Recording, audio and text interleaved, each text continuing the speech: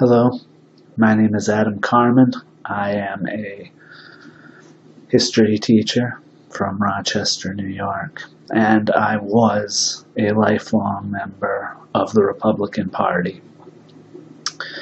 I cast my first ballot cheerfully, and still would, really, I'm being honest, uh, for George W. Bush in 2004.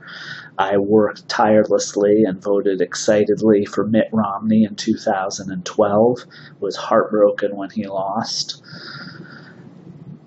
I was already getting pretty uncomfortable with the drift of the Republican Party, but nominating Donald Trump was just a step too far.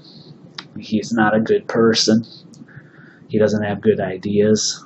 He's not a good speaker. Um, Donald Trump is a liar. He's a psychopath who can't even pretend he cares about the people dying from COVID. He's a draft dodger who's allowing Russians to put bounties on our soldiers.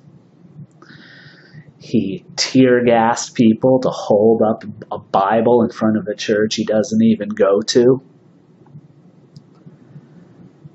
There is just nothing left. There is no bottom when it comes to Donald Trump. He's got nothing for you. And if you want to call yourself the party of principles, the pro life party, the pro America party, the pro military party, any of those things, you got to ask yourself, what of any of those things has Donald Trump done? And if you think he's been bad in the first four years, wait till he doesn't have to even worry about running for reelection. I'm voting for Biden. I'm not a fan of Joe Biden generally, but I believe he's a good man. I believe he will give us leadership. This former Republican has had enough. I hope more will join me. Thank you, and God bless America.